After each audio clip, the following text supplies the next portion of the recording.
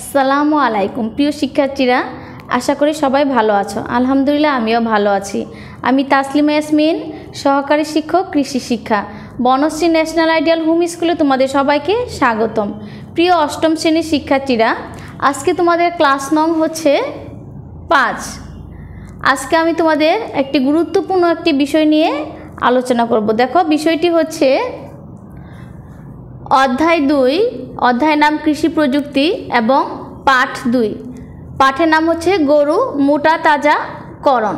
শিক্ষার্থীরা, আমরা সবাই খুব ভালো করে জানি বাংলাদেশের আয়তনের তুলনায় জনসংখ্যা অনেক বেশি। আর এই জনসংখ্যার খাদ্যের চাহিদা পূরণ করতে হলে এবং আমিষের চাহিদা পূরণ করতে হলে অবশ্যই আমাদের অবশ্যই আমাদের উৎপাদন বাড়াতে হবে। খাদ্যের দিক দিয়ে যেমন কৃষিজ ফসল উৎপাদন করতে হবে, সেইভাবে কৃষির সাথে অন্তর্ভুক্ত পশুপালন, মৎস্য চাষ এসবের মাধ্যমে আমাদের আমিষের চাহিদাও পূরণ করতে হবে। আর আমরা জানি আমিষ হচ্ছে আমাদের দেহের জন্য খুবই গুরুত্বপূর্ণ পুষ্টি উপাদান, কারণ আমিষের মাধ্যমে আমাদের দেহের বৃদ্ধি সাধন হয় এবং ক্ষয় পূরণ হয়, অর্থাৎ রোগ প্রতিরোধ ক্ষমতা সৃষ্টি হয়। তাই আমিষ পুষ্টি উপাদানটি আমাদের দেহের জন্য খুবই দরকার। আর এর জন্য আমাদেরকে প্রয়োজন পশু পশু সম্পদের উৎপাদন বাড়ানো। আর এই পশু সম্পদের উৎপাদন বাড়ানোর জন্যই আজকে আমরা পড়ব গরু মোটা তাজাকরণ কীভাবে করতে হয়। শিক্ষার্থীরা, আমরা খুব ভালো করে জানি যে বাংলাদেশের আয়তন, আয়তনের তুলনায় জনসংখ্যা বেশি এবং বাংলাদেশ সেই বাংলাদেশের মানুষ সেই তুলনায় আমিষের চাহিদা পূরণ হয় না। যেমন বাংলাদেশের মানুষের মাথাপিছু প্রতিদিন একশো বিশ গ্রাম আমিষের প্রয়োজন, প্রাণীজ আমিষের প্রয়োজন। কিন্তু বাংলাদেশের মানুষ পাচ্ছে সেটা হচ্ছে মাত্র প্রতিদিন মাথা পিছু চব্বিশ গ্রাম। তাহলে এই যে আমিষের ঘাটতি, এই ঘাটতি পূরণের জন্য আমাদের উৎপাদন বাড়াতে হবে, পশু উৎপাদন বাড়াতে হবে। এই পশু উৎপাদন বাড়ানোর লক্ষ্যে আজকে আমরা এই আলোচনাটি পড়ব। দেখো, আমরা পড়ব গরু মোটাতাজাকরণ কাকে বলে? দেখো গরু মোটা যখন অর্থ, অনেকে মনে করে যে এটা অন্য কোনো রাসায়নিক, কোনো পদ্ধতির মাধ্যমে, রাসায়নিক কোনো কেমিক্যাল ইঞ্জেকশনের মাধ্যমে এটাকে মোটা তাজাকরণ করা হয়। কথাটি আসলে ঠিক নয়। আমাদের কি করতে হবে?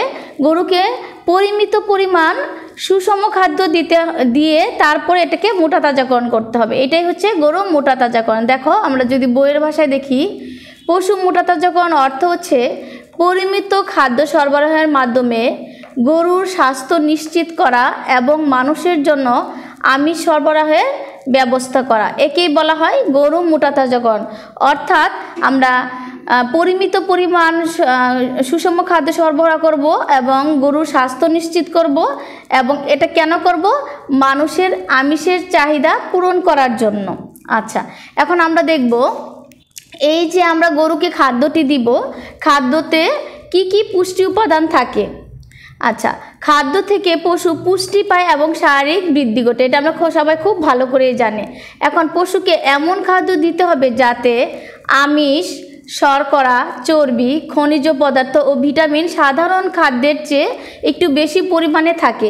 এটা আমাদের খুবই লক্ষণীয় বিষয় যে গরু মোটা তাজাকরণ করতে হলে যে এই সুষম খাদ্যের যে পুষ্টি উপাদানগুলি আছে, এগুলি পরিমাণ একটু বাড়তি দিতে হবে।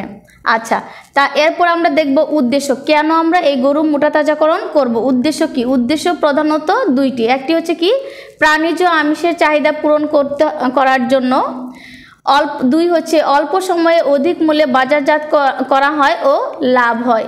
এই দুটি উদ্দেশ্যকে সামনে রেখে আমরা গরু মোটা তাজাকরণ করে থাকি।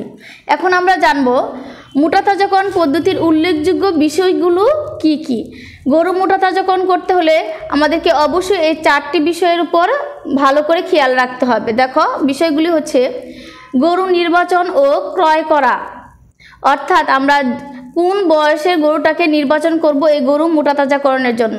দেড় থেকে দুই বছর বয়সের এরে বাছুর ক্রয় করা উত্তম। অর্থাৎ গরুর বয়স হবে হচ্ছে দেড় থেকে দুই বছর। একে বলা হয় এরে বাছুর। বাসস্থান। একটি গরুর জন্য এক দশমিক পাঁচ গুণন দুই মিটার জায়গা দরকার। অর্থাৎ দৈর্ঘ্য হবে এক দশমিক পাঁচ মিটার এবং প্রস্থ হবে দুই মিটার। এতটুকু প্রত্যেকটি গরুর জন্য এতটুকু জায়গা রেখে আমরা, জায়গা দিয়ে আমরা ঘর তৈরি করব। এবং রোগের চিকিৎসা নিতে হবে। রোগের চিকিৎসার জন্য চিকিৎসকের পরামর্শ নিতে হবে এবং সংক্রামক রোগের জন্য টিকা দিতে হবে। তারপর হচ্ছে খাদ্য সরবরাহ যে খাদ্যে আমিষ, শর্করা, চর্বি, খনিজ পদার্থ ও ভিটামিন বেশি থাকে, সেই খাদ্যটি আমরা গরু মোটাতাজকরণের জন্য নির্ধারণ করব। এখন দেখো, আমরা সবচেয়ে গুরুত্বপূর্ণ বিষয় এখন চলে আসছি, আমরা কীভাবে এই গরু মোটাতাজাকরণের জন্য যে খাদ্যটি দিয়ে মোটাতাজাকরণ করব, খাদ্যটি কীভাবে তৈরি করব এবং কি কি খাদ্য দেব। দেখো, খাদ্যের ধরন হচ্ছে ইউরিয়া ও ঝুলাগুড় মিশানো খাদ্য। ইউরিয়া সার দিতে হবে এবং ঝুলাগুড় মিশানো খাদ্য, ঝুলাগুড়টা অবশ্যই দিতে হবে এবং ইউরিয়া অবশ্যই দিতে হবে। ঝুলাগুড় হচ্ছে তরল গুড়টাকে বলা হয় ঝুলাগুড়। যেমন খড়ের সাথে মিশিয়ে, অর্থাৎ আমরা দুই ধরনের খাবার তৈরি করি। একটা হচ্ছে খড়ের সাথে এই ইউরিয়া ও ঝুলাগুড় মিশানো হয়, অথবা দানাদার খাদ্যের সাথে এই ইউরিয়া বা ঝুলাগুড় মিশানো হয়। আজকে আমরা পড়ব খড়ের সাথে ইউরিয়া মিশিয়ে গো খাদ্য তৈরি কীভাবে করা যায়। আমরা, আমি একটি খাদ্য তৈরির জন্য যে ঢুলে খাদ্য তৈরি করা হয়, ঢুলে ছবি আঁকানোর চেষ্টা করেছি। আজকে আমরা এই পড়ার সাথে এই ছবিটা মিলিয়ে আমরা খাদ্য তৈরির প্রসেসটা দেখব। দেখো, প্রথমে হচ্ছে একটি ঢুল নিয়ে এর চারপাশ কাদা দিয়ে লেপে শুকিয়ে নিতে হবে। দেখো, একটি ঢুল নিলাম। ঢুল নিয়ে এর চারপাশ কাদা দিয়ে লেপে দিতে হবে। এর কারণ হচ্ছে এই চারপাশ কাদা দিয়ে লেপে দেওয়ার কারণ হচ্ছে বাইরে থেকে যেন ঢুলের ভিতরে বায়ু প্রবেশ করতে না পারে। কারণ বাইরে থেকে যদি ঢুলের ভিতরে বায়ু প্রবেশ করে, তাহলে বায়ুর সাথে জীবাণুগুলো প্রবেশ করতে পারে এবং ভিতরে যে খাবারটি আছে খাবারটি পচন ধরতে পারে। অর্থাৎ আমরা গুণগত মানসম্পন্ন খাদ্য তৈরি করতে পারব না। তাই আমরা ঢুলের চতুর্পাশে, চারপাশে আমরা কি করব? কাদার প্রলেপ দিয়ে দিব। আচ্ছা তারপর হচ্ছে এরপর একটি বালতিতে ২০ লিটার পানিতে এক কেজি ইউরিয়ার জবন তৈরি করতে হবে। দেখো, আমরা কি করব?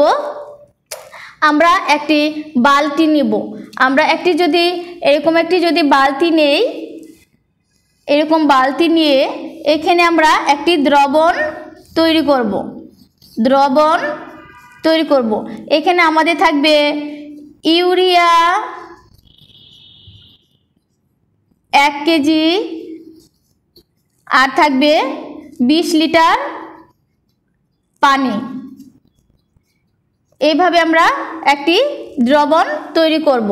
তাহলে আমরা কি করলাম যে বিশ লিটার পানিতে এক কেজি ইউরিয়া দিয়ে একটি দ্রবণ তৈরি করলাম।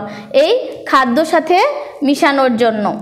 তারপরে হচ্ছে দেখো বিশ কেজি খড় ঢুলের মধ্যে অল্প অল্প করে দিয়ে ইউরিয়া দ্রবণ খড়ের উপর ছিটিয়ে ভরতে হবে যেন কোনো বাতাস না থাকে। তা না হলে খাদ্য পচন ধরতে পারে। এখন আমরা খড় খড় নিব। যে খড়গুলি নিব, আমরা একটা ঢুলে বিশ কেজি, কমপক্ষে বিশ কেজি ঢুলে খাবার রাখা যায়, খড় রাখা যায়। এখন আমরা এক স্তূপ, এক স্তর খড় রাখব। খড় রাখার পরে এই যে আমরা ইউরিয়া মিশ্রিত দ্রবণটি তৈরি করলাম, এটিকে আমরা কি করব? এই এক স্তর খড়ের উপরে ছিটিয়ে ছিটিয়ে ভিজিয়ে দিব। এভাবে আরেকটি স্তর খড় রাখব, তারপর দ্রবণ দিয়ে মিশিয়ে মিশিয়ে এটাকে ছিটিয়ে ছিটিয়ে ভিজিয়ে দিব। এইভাবে সম্পূর্ণ ঢোলটাকে এভাবে স্তরে স্তরে খড় এবং এই ইউরিয়া মিশ্রিত পানি দিয়ে ছিটিয়ে ছিটিয়ে আমরা ভিজিয়ে দিব। এইভাবে আমরা সম্পূর্ণ ঢোলটাকে এমনভাবে ভর্তি করব এমনভাবে ভর্তি করব যেন কোনো বাতাস ভিতরে না থাকতে পারে। একদম আমরা সম্পূর্ণ মুখ পর্যন্ত ভরাট করে দেব যেন কোনো বাতাস প্রবেশ করতে পারে, না পারে। কারণ বাতাস প্রবেশ করলে অথবা বাতাস থাকলে খাদ্যের পচন হতে পারে। তারপরে দেখো, এভাবে সম্পূর্ণ ডোল খড় দিয়ে ভরতে হবে এবং মুখ ছালা বা পলিথিন দিয়ে বেঁধে দিতে হবে। তারপর ভরার পরে আমরা এই মুখটাকে ছালা বা পলিথিন দিয়ে ঢেকে মুখটাকে বেঁধে দিয়ে যেমন কোনোভাবে বাতাস প্রবেশ করতে না পারে। এইভাবে আমরা পলিথিন দিয়ে বেঁধে দিব। বেঁধে দেওয়ার পরে দশ থেকে বারো দিন পর খড় বের করে রোদে শুকাবো। তারপর আমরা এই খড়টাকে কি করব? দশ থেকে বারো দিন পর বের করে রোদে শুকাবো। অর্থাৎ দশ থেকে বারো দিন পরে এটি খাওয়ার উপযুক্ত হয়ে যাবে। এখন একটি গরুকে খাবার দিতে হবে প্রতিদিন তিন কেজি করে খাবার দিতে হবে। একটি গরুকে একটি গরুকে একদিনে তিন কেজি খড় মিশ্রিত খাবারটা দিতে হয়। এখন তোমাদের অনেক সময় বহু নির্বাচনী নৈবিত্তিকে প্রশ্ন আসে, প্রয়োগমূলক প্রশ্ন আসে যে পাঁচটি গরুকে দৈনিক কতটুকু খাবার দিতে হবে? তখন আমরা তিনের সাথে শুধু পাঁচটি গুণ করে দিব। এভাবে আমার তোমরা যে কোনো সংখ্যা আসলে শুধু তিনের সাথে গুণ করে বের করে নিবে। তাহলে আমরা দেখলাম একটি গরুকে ইউরিয়া মিশ্রিত খাবারটি দিতে হয় হচ্ছে প্রতিদিন তিন কেজি করে অর্থাৎ পাঁচটি গরুকে দিতে হবে তিন পাঁচা পনেরো কেজি। আচ্ছা তারপর কি করতে হবে? সাধারণত একটি গরুকে প্রতিদিন তিন কেজি খাবার দেওয়া হয়। খড়ের সাথে দৈনিক তিনশো থেকে চারশো গ্রাম ঝোলা গুড় মিশে দিতে হয়। এ, এই যে আমরা খড়টা খাবার দিব, একে, এই খাবারের সাথে দৈনিক তিনশো থেকে চারশো গ্রাম ঝোলা গুড় দিতে হবে। অর্থাৎ তিন কেজি খড়ের জন্য তিনশো থেকে চারশো গ্রাম ঝোলা গুড় দিতে হবে। তাহলে যদি গরুর সংখ্যা পাঁচটি হয়, যা শুধু আমরা এই তিনশো থেকে চারশো গ্রামকে পাঁচ দিয়ে গুণ করে দিব। তাহলে আমাদের পাঁচটি গরুর হিসাব বের হয়ে যাবে। এটাও তোমাদের প্রয়োগমূলক প্রশ্ন আসে যে পাঁচটি অথবা ষাটটি কিংবা দশটি গরুর জন্য কতটুকু দৈনিক ঝুলাগুড় দিতে হবে। এটা তোমাদের ছোট ছোট অঙ্ক আসে। তাহলে এইভাবে আমরা ঝুলাগুড় মিশিয়ে তারপরে ফাইনালি আমরা গরুকে খাবার দিব। তাহলে আমরা খুব ভালো করে শিখে গেলাম যে কীভাবে ঘরের সাথে ইউরিয়া মিশিয়ে গোখাদ্য তৈরি করা যায়। তো শিক্ষার্থীরা, আশা করি এই প্রসেসটি তোমরা খুব সুন্দর এবং সহজভাবেই শিখে ফেলেছ এবং এটি তোমরা নিজেরাও প্রয়োগ করতে পারবে। আর তোমরা খুব ভালো করে প্রথমেই বুঝে গেছো যে আমরা কেন এই খাদ্যটি প্রয়োগ করব গরুর মোটা তাজাকরণের জন্য। কারণ হচ্ছে যে আমাদের বাড়তি জনসংখ্যার জন্য বাড়তি আমিষের প্রয়োজন। তাই গরুকে আমরা সুষম খাদ্য দিব এবং সুষম খাদ্যের চেয়ে একটু বেশি পরিমাণ খাবার দিয়ে আমরা পরিমাণটা একটু বেশি দিয়ে আমরা এটাকে অল্প সময়ে মোটা তাজাকরণ করব যেন আমাদের আমিষের চাহিদা পূরণ হয় এবং আমরা অর্থনৈতিকভাবেও লাভবান হতে পারি। তো শিক্ষার্থীরা, আশা করি বিষয়টি বুঝতে পেরেছ। তো আজকে আর নয়, অন্য আরেকদিন দেখা হবে অন্য আরেকটি গুরুত্বপূর্ণ বিষয় নিয়ে। সে পর্যন্ত সবাই ভালো থেকো সুস্থ থেকো এবং অবশ্যই লেখাপড়া করো। সবাইকে ধন্যবাদ। আসসালামু আলাইকুম।